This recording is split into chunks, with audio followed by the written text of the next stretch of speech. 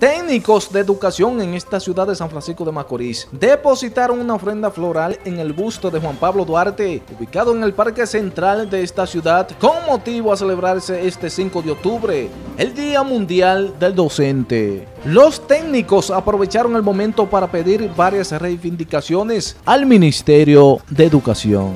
Con todo el Consejo Regional, nuestro presidente Osiris Contreras, Toda la Regional 07 de Educación nos hemos reunido en el Parque Duarte a entregar una ofrenda al busto de nuestro patricio, Juan Pablo Duarte, en este Día Nacional e Internacional del Docente.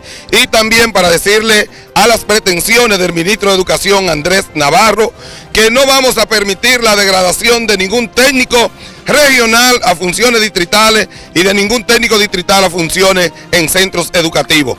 Nuestra lucha sigue a nivel nacional en todo el país. Esta actividad se está llevando a cabo en todo el país. Una actividad pacífica, pero una actividad que le dice al señor presidente de la República y al ministro de Educación que no vamos a aceptar los golpeos contra los técnicos de educación. NTN, su noticiero regional, Robinson Polanco.